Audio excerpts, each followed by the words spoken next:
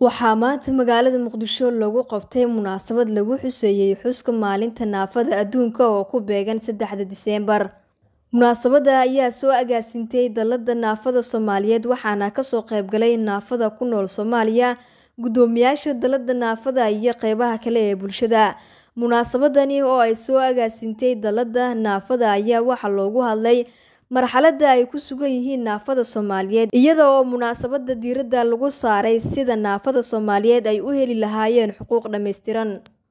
Xuska maalinta naafada adduunka ayaa micnaheedu waxa uu yahay in la qeexo xuquuqda bini'aadantinimo gaar ahaan kuwa naafada ah. Guud ahaan naafada Soomaaliyeed ayaa lagu tiriyaa boqolkiiba inay yihiin shan iyo toban. Tiro-koob la sameeyay ayaa lagu sheegay inay gaarayaan laba milyan iyo shan boqol qofood oo naafo ah. Ugu horeyn waxaa munaasabadda ka hadlay guddoomiyaha dallada naafada Soomaaliyeed Cabdulaahi Xuseen. hambalyo hambalyo meel kasta oo ay joogaan naafada Soomaaliyeed. Sidaad ogtihiinba naafada Soomaaliyeed waxaa lagu qiyaasaa boqolkiiba shan iyo toban. Waa waa sida caalamka ka jirta. Laakiin waxaa la dhihi karaa waa boqolkiiba labaatan ama labaatan iyo shan Soomaaliya sababtoo ah seven seven ilaa hadda inta ka dhexeysa waxaan ku jirnay dagaal iyo colaad maalinba maalinta ka dambeysa marka shan iyo toban markii la dhaho xataa dadka Soomaaliyeed waxaa naafo ka ah laba milyan iyo shan boqol ilaa saddex milyan oo qof. Sida tirada dadka Soomaaliyeed oo la leeyahay waxaa waaye hadda labadii kun iyo afar iyo tobankii tirakoobka ugu dambeeyey soo saareen wuxuu ahay saddex iyo toban milyan iyo shan boqol. Marka saddex iyo toban milyan iyo shan boqol markii lagu dhufto waxay noqonayaan laba milyan shan boqol ilaa saddex milyan oo qofood oo naafo ah waa dad aada u badan oo ku kala faafsan dhammaan Soomaaliya oo dhan. Maahan Muqdisho keliya marka dadka intaas la eg waxay u baahan yihiin daryeel muxuu ahaayey gooni ah. Waxay u baahan yihiin waxbarasho waxay u baahan yihiin shaqo. Waxay u baahan yihiin wax kasta oo qof bini aadan ah u baahan yahay. Marka yaa laga rabaa marka intaas inay qabtaan. Waajibka koowaad wuxuu saaran yahay dowladda Soomaaliyeed. Kan ku xigan wuxuu saaran yahay ummadda Soomaaliyeed.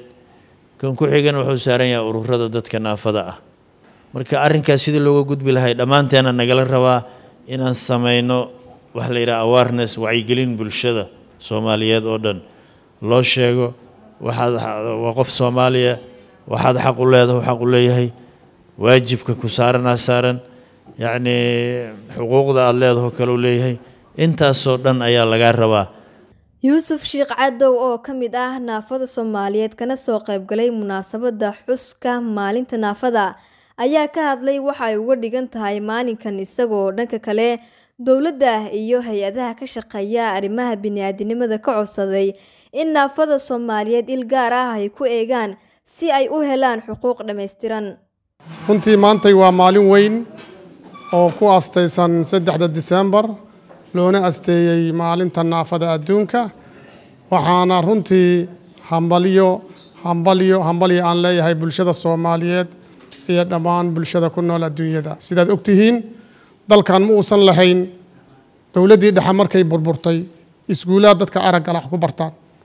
Waxaa taas aad ka gadeemi kartaan maantana inaan joogno in dalka Soomaaliya laga helayo arday inta wax ku barteen haddana maartay ii sheeg jaamacadii ka qalin jibsheen taasina waxay tahay guul u soo hooyata runtii intii ku hoolaneed arrimahaas ka s u b an ahaan waxaan sii wadi doonnaa hadduu ilaahay idmo inaan u qareenno dareensiino bulshooyinka la nool maaragtay ii sheeg arag la'aanta inaan horta wacyigelinno kuwaasoo aan ugu tegayno deegaanada meesha ay uga nool yihiin Soomaaliya inta karaankayna munaasabadda xuska maalinta naafada adduunka oo maanta Muqdisho lagu qabtay ayaa waxaa ka soo qaybgalay ururka caafimaadka Soomaaliyeed Dr. Ayso Nasro Cilmi Cabdi oo ka socotay ururka caafimaadka ayaa ka hadashay kaalinta dhaqaatiirta Soomaaliyeed ay ku leeyihiin in la garab istaago naafada Soomaaliyeed. Xad gooni ii tahay inaan maanta ka soo qayb galo World Disability Day wejiye aada u qurux badan walaalaan jecelnahay. Sidoo kaleeto ururaad kala duwan ee matala naafada. Waxaa xusid mudan anaga waxaa la yihahdaa somali healthy care center waa xarun bixiso kaararka caafimaadka.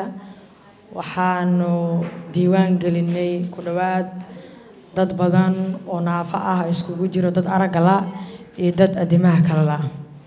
Ujeedkeenana waxay tahay inay helaan adeeg caafimaad oo dhammaystiran kana helaan walaalahooda muxsiniinta ee leh isbitaalaadka sida gaarka loo leeyahay. Alxamdulilah waxaa ku guuleysanay boqolaal dadka naafada ah inay ka qayb qaataan munaasabahooda iyo maalmahoodana waxaan aada u jecelnahay inaan la dabaaldegno la joogno la muuqano intaa kumaan simin waxaan dhowaan qaban doonaa barnaamij oo shaqo abuur ah.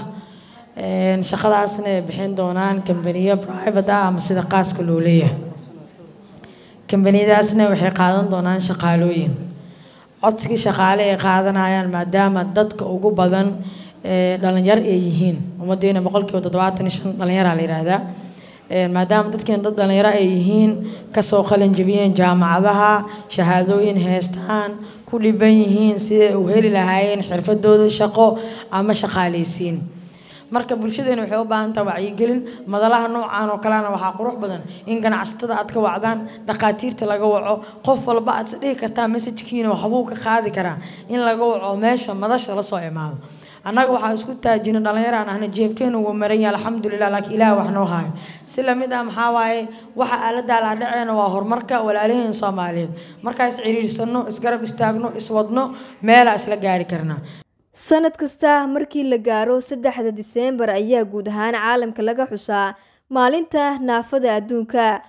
Soomaaliya oo ay ku nool yihiin laba milyan iyo shan boqol qofood oo naafo ah ayaa sanad kasta si weyn loogu xusaa markii la gaaro saddexda diseembar oo ku beegan xuska maalinta naafada adduunka. Faa-ise aadan shabelle t v muqdisho